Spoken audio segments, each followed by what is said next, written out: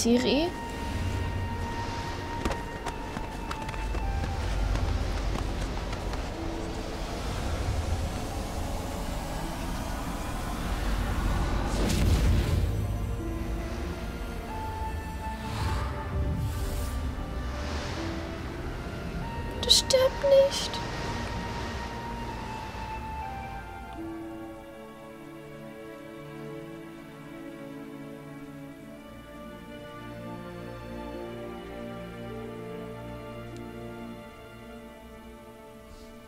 Die Schneeballschlacht, die wir gemacht haben.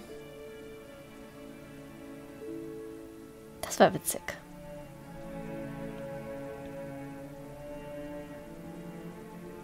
Hauptsache in dem Rückblick haben wir eine andere Frisur, als wir da in echt eigentlich hatten. Aber ist okay.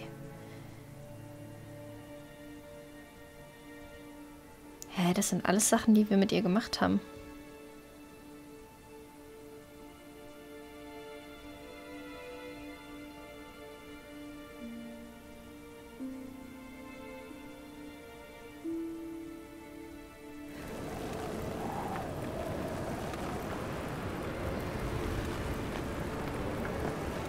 Was bedeutet das jetzt?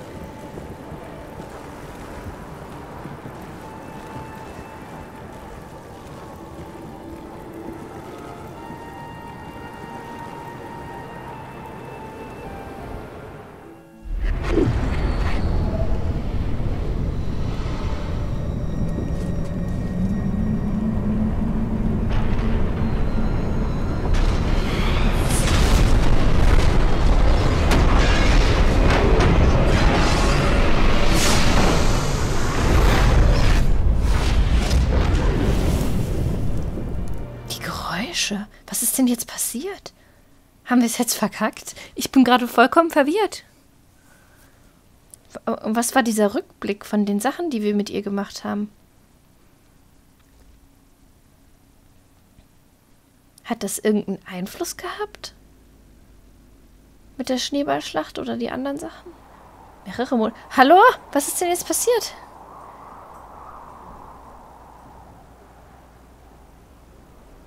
Da ist es überall kalt. Ich habe das Gefühl, es hat nicht funktioniert. Oh, Ciri ist tot oder was?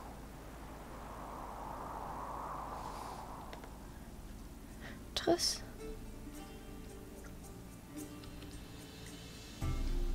Ich würde dir glauben, wenn du mir eine Bunthose aus Batist mit Monogramm zeigen würdest. Du würdest sicher sagen, ich hätte sie gestohlen. Idioten.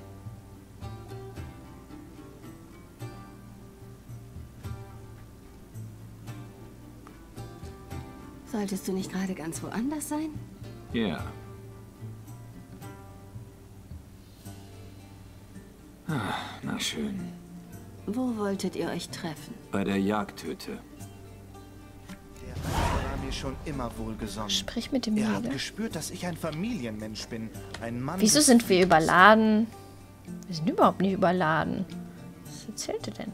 Wo ist dieses Schwert, was wir eigentlich vorhin bekommen haben? Der Gedät. Wie hieß denn das? Hafkarin. Ines? Hm. Irgendwas haben wir bekommen. Keine Ahnung, was es war. er selbst. Er hätte mich niemals enteignet, wenn meine Es ist Schwester... ja ewig her, dass wir mal hier waren. Oh! Sprich mit dem geworden. Und Siri? Ähm, hallo. Scheiße! Verfluchte Bohrmuschel. Hä? Hilf mir! Fang das ausgerüstete Pferd ein. Wie soll ich das denn machen? Ich kann ja nicht mal rennen, weil ich angeblich überladen bin, was nicht stimmt. Wie blöd ist das denn? Kann ich was fallen lassen? Und wieder aufnehmen? Hä, und jetzt bin ich nicht mehr überladen? Oh, wow. Toll. Wäre das mal vorher so gewesen, hätte ich das Pferd schon lange eingefangen.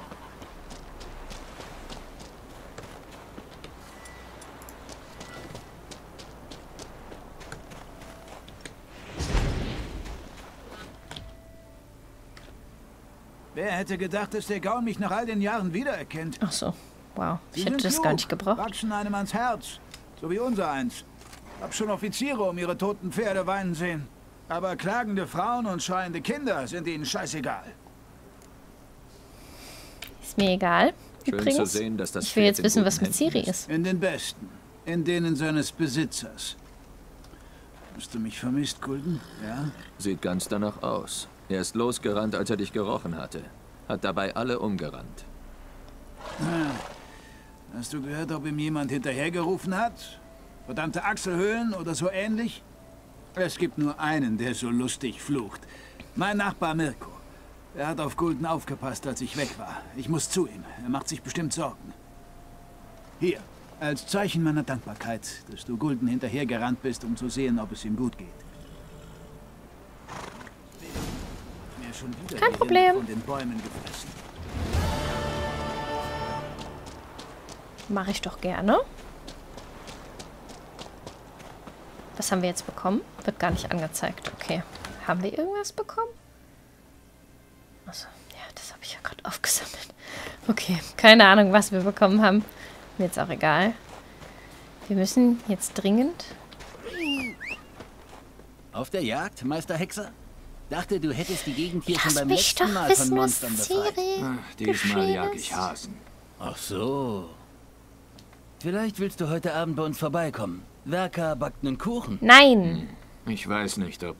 Wie du willst. Du bist jedenfalls immer willkommen. Okay, danke. Das ist sehr nett. So. Hauptsache hier steht, es wäre was dran, aber es ist gar nichts dran. Plätze! Da bist du ja. Für die paar Meter hat es jetzt nicht mehr gelohnt, aber egal. Da. Mislav. Hey, Sie ist schon los. War sie wütend, bitte dass sie warten musste? Bitte lass es Ciri Nein, sein. konnt's kaum erwarten, loszuziehen. Hat die Tarndüfte und Fangeisen ganz allein vorbereitet. Gibt eine gute Jägerin ab, oder? Nein, zu ungeduldig. Schnappt sich die Hasen bestimmt mit der Hand und steckt sie dann selbst in die Fallen, weil sie ihr zu langsam sind. Wo ist sie hin? Nicht weit weg, da lang. Mach's gut. Lieb von dir Plätze, dass du gewartet hast. Moment mal. Wie viel hat unser Silber? 28. Oh Mann. Haben wir hier nicht so ein Kit? So. Jetzt können wir doch mal. Hier benutzen wir die zwei. 83. Passt. So. Aber nicht, dass uns noch unser Silberschwert zerbricht. Das wäre blöd. Huch. Ja, ja, Siri. Sie hat überlebt. Gott sei Dank. Keine Lust mehr auf die Hasenjagd? Nicht so richtig. Und jetzt? Nichts. Sitz nur hier rum und warte auf dich. Echt schön hier. Warte Und erst, kalt. bis du Dolblatana im Winter siehst und die blauen Berge. Wir gehen nach Osten, wenn der Schnee schmilzt. Wir sind schon etwas zu lange hier. Du hast versprochen, mir noch das Greifennest zu zeigen, bevor wir gehen. Lass uns jetzt gehen. Interessiert sie das wirklich? Interessiert dich das wirklich? Absolut. Du hast es doch selbst gesagt. Ein Königsgreif ist ein seltener Anblick. So selten auch wieder nicht. Und bis Ker Morhen werden wir sowieso ein paar von ihnen töten müssen. Aber wenn du das Nest sehen willst, es ist den Hügel rauf. Komm, Bekommen wir noch eine Erklärung? Vor allem, warum steckt plötzlich hier in dem Busch fest? Ich reite mal vor, du musst halt ein bisschen nachkommen, ne? Macht ja nichts.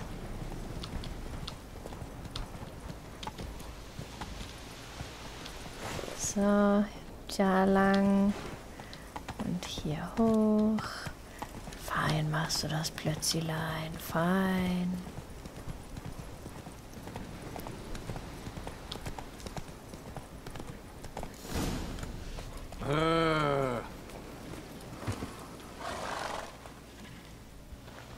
Vorsichtig jetzt. Hör auf, den Lehrer zu spielen. Ciri, warte, da ist was im... Du musst mich nicht wie ein kleines Kind behandeln. Ciri! Hässlicher Bastard!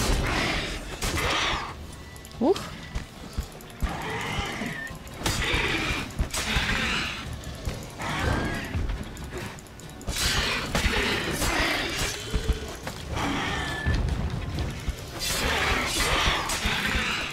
Boah, da hat das Blut ja gespritzt. Krass.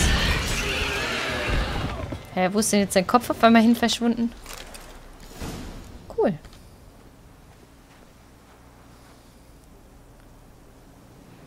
Was denn? Einen Tick schneller. Hätte nicht viel gefehlt und du hättest jetzt keinen Arm mehr. Aber ich hab ihn noch. Er ist tot. Wo liegt das Problem? Du bist wütend, wolltest deinen Ärger rauslassen. Aber das nächste Mal. Verstehst du's nicht? Es wird kein nächstes Mal geben. Ciri, wovon redest du da? Tut mir leid. Es ist nur... Es geht mir nicht gut. Willst du zurück?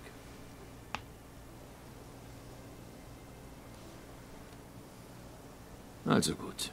Schluss jetzt. Lass uns Fische fangen.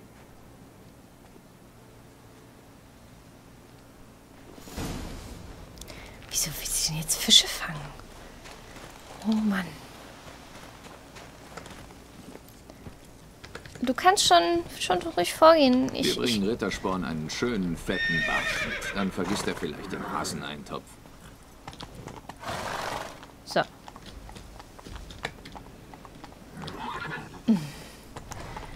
Ja, wir, wir gehen außen rum. Es ist okay. Sie sagt nur, hm, was ist denn los, Siri? Was ist denn passiert? Oh, hier ist eine Hütte.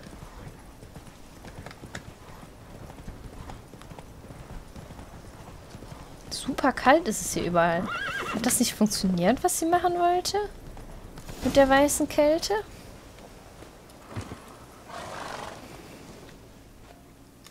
Ich werd verrückt. Sollen wir verschwinden? Nein, auf keinen Fall.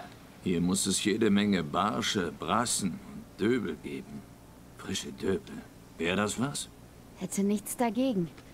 Aber wollen wir hier warten, bis er verschwindet? Nein, wir verscheuchen ihn. Wie denn? Ich improvisiere. Warte hier. Äh, okay. Wuff, eine Bombe. Oh, super.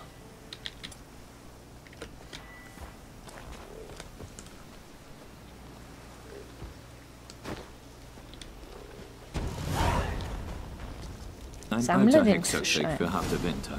Nicht gerade feinsinnig, aber... Effektiv. aber nicht nachmachen.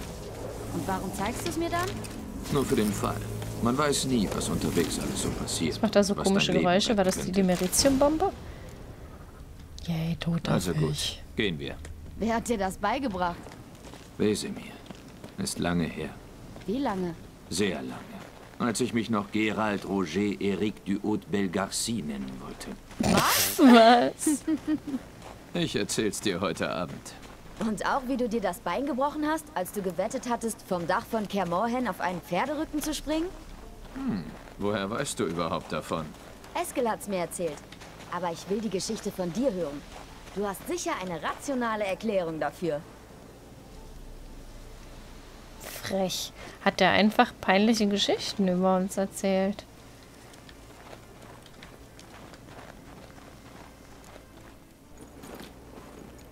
Du hast mich in Kermorhin nie Huckepack getragen, weißt du noch? Nur Wesemir.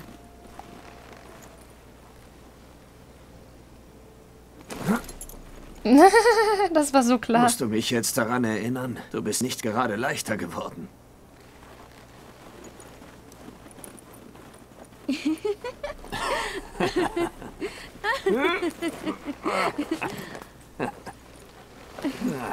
Ein Glück ist der Schnee so fluffig und kein Stein drunter. Hey,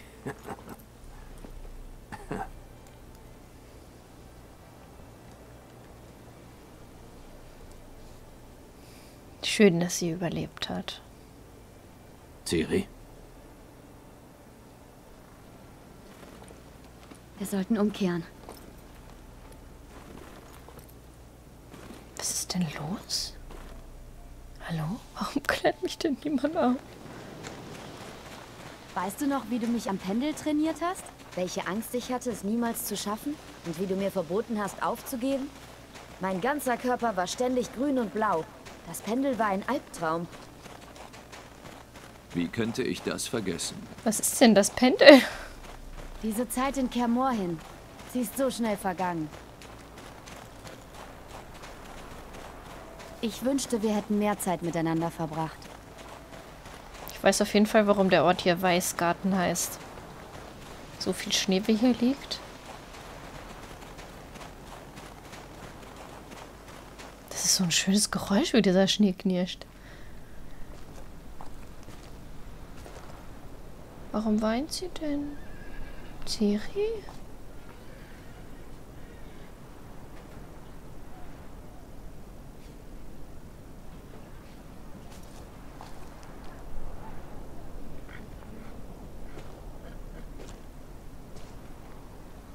Ich hatte fast vergessen, dass es heute soweit ist.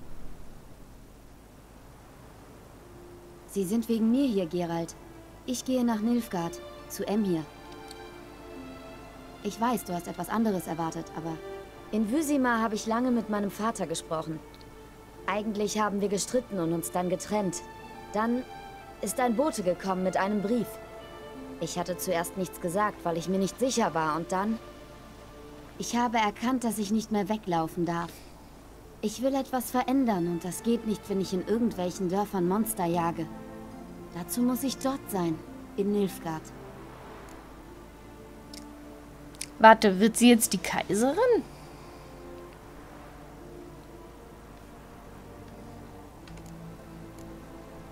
Ist das deine freie Entscheidung?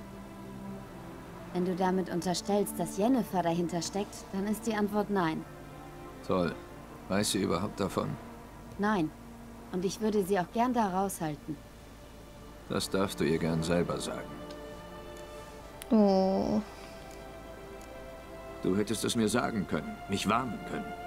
Das wollte ich auch, aber ich wusste nicht wie. Ich war glücklich hier. Ich hatte Angst, alles kaputt zu machen. Ich wollte jeden Moment auskosten. Dann bei dem Nest vorhin. Das war es also. Ich wollte dich nicht bedrängen, es mir zu sagen. Ich dachte, wir hätten Zeit. Viel mehr Zeit.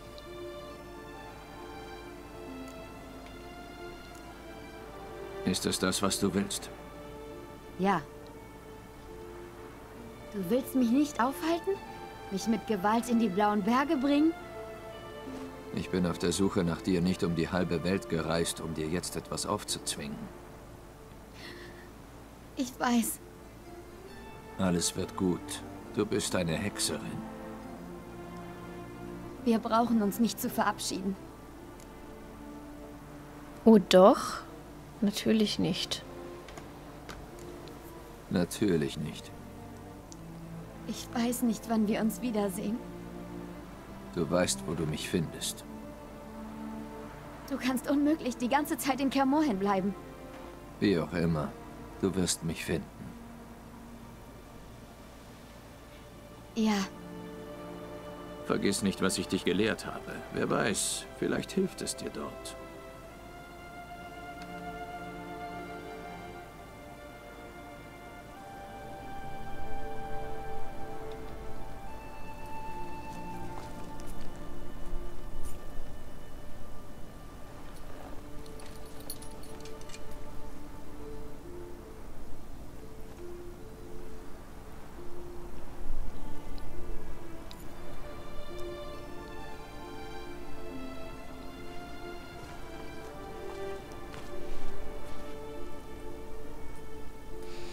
Och, jetzt hatten sie sich gerade wieder. Aber sie ist ja nicht aus der Welt zum Glück.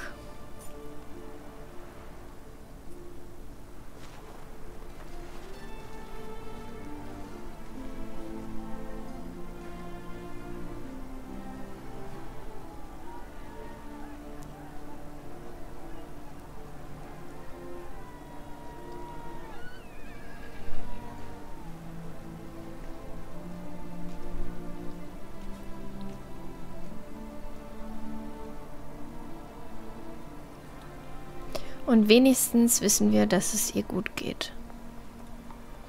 Das ist doch auch schon mal viel wert.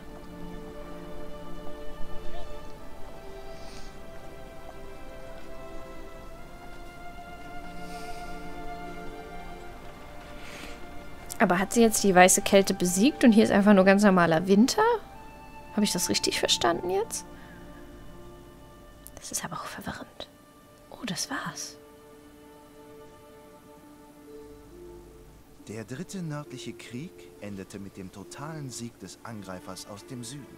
Ohne Radovids taktisches Genie konnten die Nordländer den unzähligen Legionen Emir war Emreis nicht widerstehen. Schwarze Banner wehten über Novigrad und Redanien. Emir war Emreis hatte die Überfälle durch temerische Partisanen satt und willigte ein, Temerien zum kaiserlichen Vasallenstaat zu machen. Die Rebellen legten die Waffen nieder und der Kaiser konnte seine Streitkräfte an andere Fronten schicken. Und so bekamen die Temerier, ausgerechnet durch Nilfgaards umfassenden Sieg, ihr Land zurück. Eine weitere Ironie der Geschichte. Als er mit Radovid fertig war, verfuhr Emhir mit seinen inländischen Feinden auf die gleiche Art. Emhirs Spione denunzierten alle, die gegen ihn konspiriert hatten. Händler, Soldaten und Aristokraten. Die Meuterei hatte das Planungsstadium zwar nie verlassen, doch der Kaiser zeigte wie üblich keine Gnade. Der Kontinent versank im blutigen Krieg, doch Skellige erblühte unter der erleuchteten Regentschaft von Ceres. Anders als ihre Vorgänger ließ die junge Königin nicht an fremden Gestaden plündern. Sie kümmerte sich um ihre eigenen Leute und um ihr eigenes Land. Der Inselstaat Skellige prosperierte, auch wenn seine einstigen Zähne abgestumpft waren.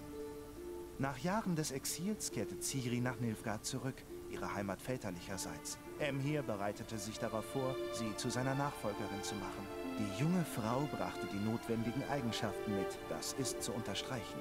Vom Vater hatte sie den politischen Instinkt einer Kaiserin geerbt, von Gerald den Sinn für menschlichen Anstand übernommen. Diese Eigenschaften vereinen sich selten in Herrschern, ein Jammer. Auch wenn es schwer zu glauben ist, Gerald wurde endlich sesshaft, im fernen Kovia. Er und Triss schufen sich ein Zuhause, warm und von frischem Kuchenduft erfüllt. Gäste waren stets willkommen, egal zu welcher Uhrzeit. Hin und wieder übernahm der Hexer einen Auftrag, eher aus Gewohnheit denn aus Not. Als Beraterin des Königs von Kovir verdiente Triss mehr als genug.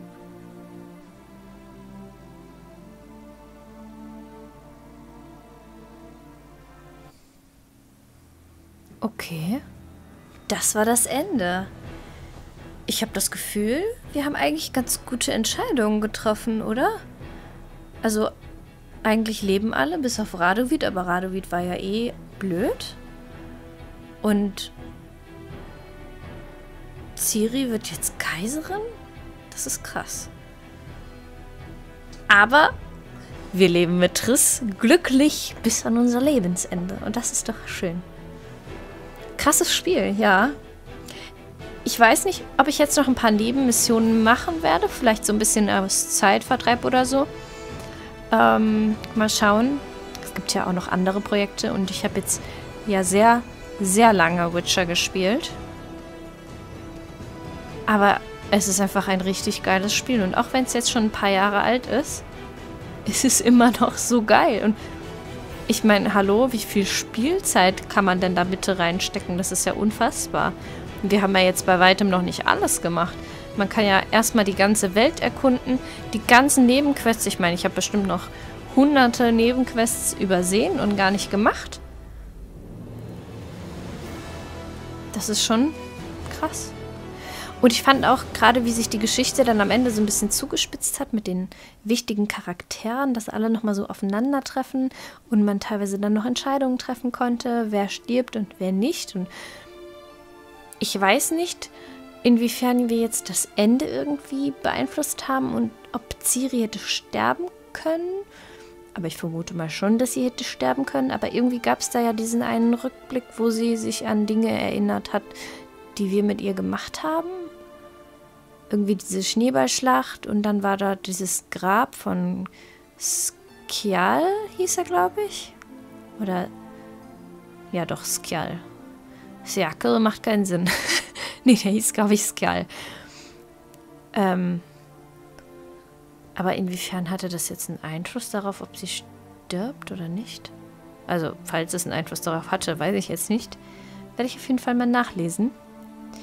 Oder ihr schreibt es mir in die Kommentare, da wäre ich natürlich auch sehr verbunden. Aber krass, dass wir jetzt durch sind. Machen wir doch nicht die 200 Folgen voll. Wohl vielleicht mit Nebenquests. Aber da muss ich mal schauen, inwiefern ich da dann jetzt Lust drauf habe. Weil ja, wie gesagt, noch einige andere Spiele so rauskommen. Und da müssen wir einfach mal schauen, was die Zeit hergibt. Auf einer Skala von 1 bis 10 gebe ich dem Spiel 12 Sterne. Äh, 12 Punkte. 12 Sterne, ja, genau. Ähm, ich fand's mega geil. Sonst hätte ich es wahrscheinlich auch nicht über einen so langen Zeitraum gespielt und immer wieder als gut befunden. Weil ich glaube, irgendwann verliert man die Lust an so einem Spiel. Klar, ich habe jetzt auch mit Pausen das gespielt, aber... Nee, ihr wisst, was ich meine. Auf jeden Fall bin ich jetzt erstmal ruhig. Wünsche euch noch viel Spaß mit diesem wunderschönen Abspann.